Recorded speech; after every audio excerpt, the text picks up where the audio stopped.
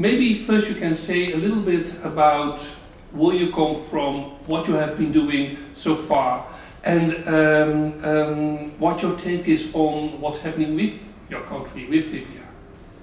Uh, my name is Farida Allaghi, uh, born in Libya 69 years ago.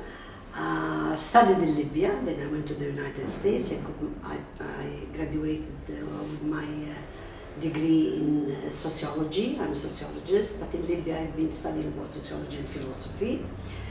I uh, have been an activist, uh, like I have been telling you earlier, since I was 15 years old, marching in the streets in Libya, supporting uh, the Algerian revolution, the Palestinian revolution, dreaming of the beautiful future of the Arab world.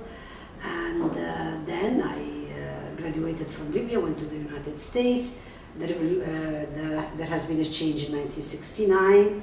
Uh, we were happy that uh, a revolution took place in Libya, despite that my family were part of the old regime, but I was very much wanting to have, you know, that the, you know, the spirit of the 60s in the Arab world, the changes, the dreams, the unity, uh, Abdul Nasser, uh, the good uh, uh, thinking that we had during that time. So we celebrated the revolution, but sadly, only, in two years we discovered the nature of this revolution. I joined the opposition, my husband and I, and I lived for 42 years out of Libya, facing uh, the dictatorship regime of Gaddafi. During that time, I have been uh, working closely with the United Nations in the development field. I moved to Saudi Arabia. I lived in Saudi Arabia for 18 years. I've been working in uh, an international humanitarian development fund. Uh, to the surprise of many people might not be believing that, I have been very lucky to live in Saudi Arabia as a woman because in my opinion the strongest Arab women in the region are the Saudi women in one way or the other. I believe that uh, uh, humanists are everywhere in, in, this globe. I started my, maybe you heard me saying that, I, am always saying that. When I was four years old in Tripoli, I started my education in the church. And those were the good old days that, that, you know, my father was a Muslim, a conservative Muslim, but he wanted me to go to a preschool. So I've been uh, taught by nuns in the church. My best friends were Italian. Many of them were Jews. We never knew who is what. We were just loving each other, playing with each other. So this, this early childhood education, and that's why I'm a very strong believer in promoting, if we really need to change this world in the future, honestly speaking, I gave up changing the minds of adults we need to start with children, young, young children from childhood. If we would have started that 50 years ago, I don't think we would have been in this sad times that we are now facing.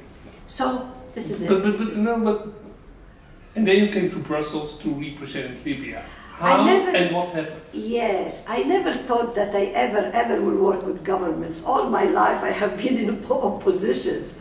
And then after the revolution, I went back to Libya and I was really again my uh, uh, second era of my dreams to rebuild Libya because I have I've been lucky because I gained so much experience uh, and I have a big international network in different uh, countries. So I really wanted to go back and work from the second line, supporting the youth and supporting the women. To be honest with you, this is my vision also for the future. I think a new global alliance has to be created by particularly in our region, 70 to 75 percent are women and youth.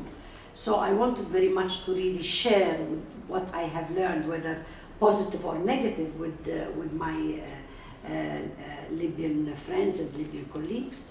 And then I have been asked to come and represent Libya at the EU. I resisted for three months. I knew that I wouldn't be able to shift from an activist with all my, you know, I have always been saying what I have to say. I cannot be very much diplomatic. Of course, I can understand, I can respect, I can listen. But if I see something that's going wrong, I have to say, impossible, it's, it's not going right. So I came, I, I stayed a year and a half. Of course, the EU is important. The EU is a big organization. It has many good people. And the, the EU, politically, I have lots of criticism for the EU politically on the development, on the education, on the science, on the technology, on other issues, I think there are some good achievements that we all can share and we learn. But sadly, I think uh, uh, when I came here, I was very, you know, uh, enthusiastic to really uh, put Libya on the agenda of the EU, clarify to the parliamentarian and to the commissioner and to the officials the real situation of Libya. And what I discovered sadly, because we needed the, uh, the help of the international community, sadly, of course, at the end of the day, I have to blame ourselves, we have to blame the Libyans, because if the Libyans would have been able to come together and really work together and understand each other and accept each other and forget the past and look forward and not to be so selfish, I think we wouldn't have needed the international intervention. But again, as you know, sadly, Libya is no longer for the Libyans. Everybody interfered.